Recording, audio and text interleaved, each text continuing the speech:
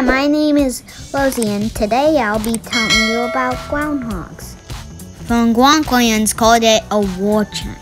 It sounds like woodchuck in English. Some people call it a land beaver or a ground pig.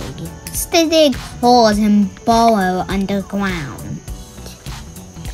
In the winter, groundhogs hibernate.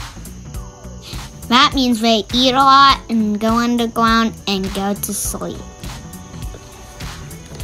That they hibernate from October to April. They talk to each other by whistling. They have white incisor teeth that grow forever. They live in Canada, Alaska, and the, the eastern United States. They live in forests and fields and pastures.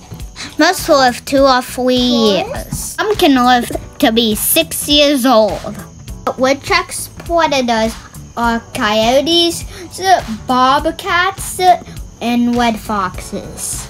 They can hide in barrels or climb trees to escape them. They squeal when they get hot.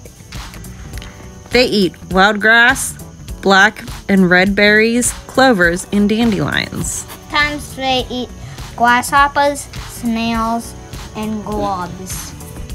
But they don't eat at all when they hibernate. They make nests out of dead leaves and grass.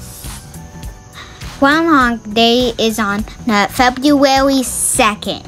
Satani's Phil is taken out of his den. If you see his shadow, that's six more weeks of winter. No shadow means an early spring. Similar to the German holiday, but they used a hedgehog.